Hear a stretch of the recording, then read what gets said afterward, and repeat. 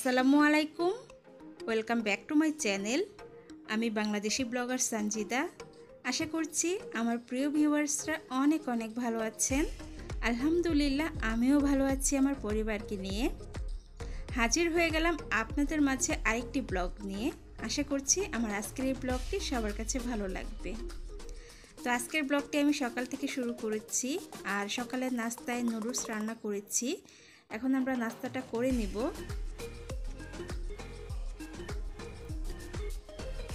নাস্তা করে দুপুরে রান্না করা শুরু করেছি। তো আজকে আমি রান্না করব পালং শাক।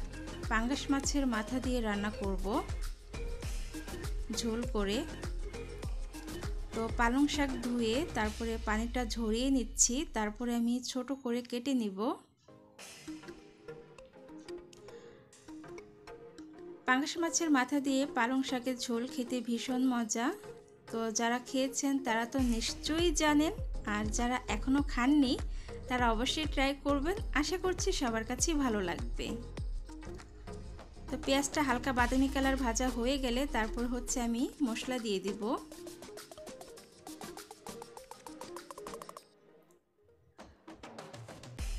তো আমি সব মশলা দিয়ে দিয়েছি। এখানে আমি হলুদ মরিচের গুঁড়া দিয়েছি ধনে গুঁড়া, জিরা গুঁড়া দিয়েছি, লবণ দিয়েছি স্বাদ মতো, আর অল্প আদা রসুন বাটা দিয়েছি। এখন সব মশলা কষিয়ে নিব ভালোভাবে। তারপর হচ্ছে মাছের মাথা দিয়ে দিব। তো আজকের টাইটেল দেখে তো নিশ্চয়ই আপনারা বুঝে গিয়েছেন।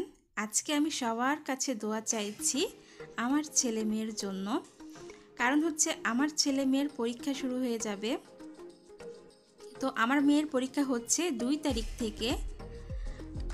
আর হচ্ছে ছেলের পরীক্ষা পরে শুরু হবে। তো আমার মেয়ে এবার জেএসসি পরীক্ষা দিবে।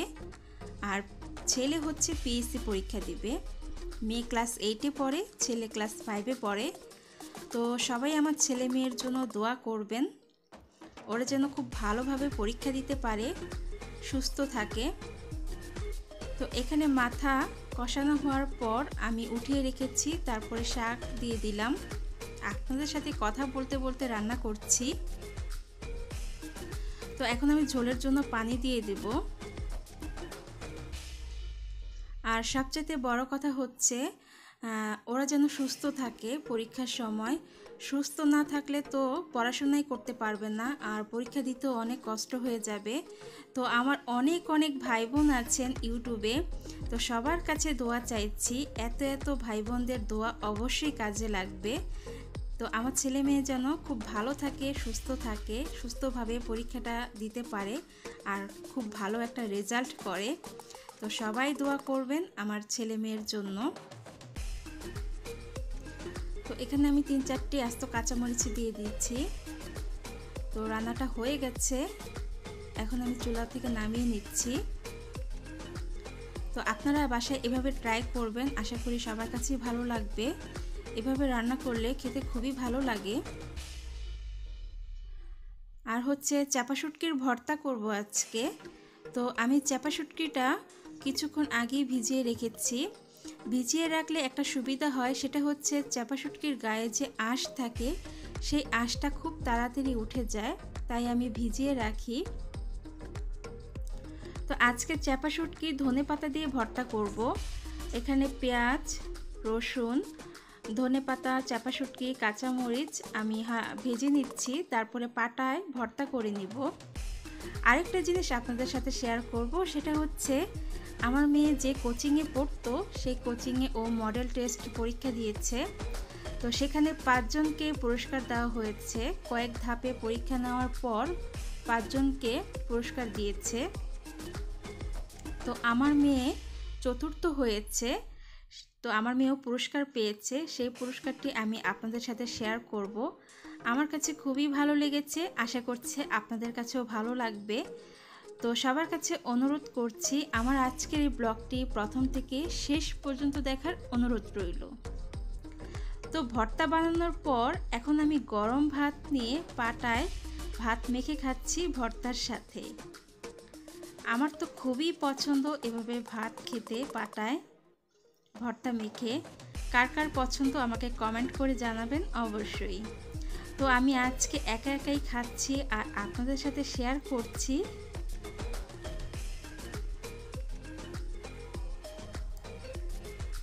আর এই ফাঁকে বলে নিচ্ছি, যারা এখনও আমার চ্যানেলটি সাবস্ক্রাইব করেননি, আমার ব্লগগুলি দেখছেন, অবশ্যই আমার চ্যানেলটি সাবস্ক্রাইব করবেন, পাশে থাকা ছোট্ট বেল আইকনটি বাজিয়ে দিবেন, তাতে করে আমি নতুন কোনো ভিডিও আপলোড করলে সঙ্গে সঙ্গে নোটিফিকেশন পেয়ে যাবেন আপনাদের মোবাইলে।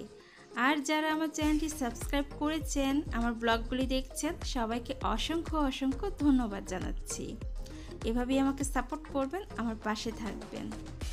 তো আজকে দুপুরে রান্না হচ্ছে চাপা শুটকির ভর্তা, পালং শাক দিয়ে মাছের মাথা রান্না করেছি, আর ডাল ছিল, ডালটা শুকিয়েছি। এই হচ্ছে আমাদের দুপুরের খাবার।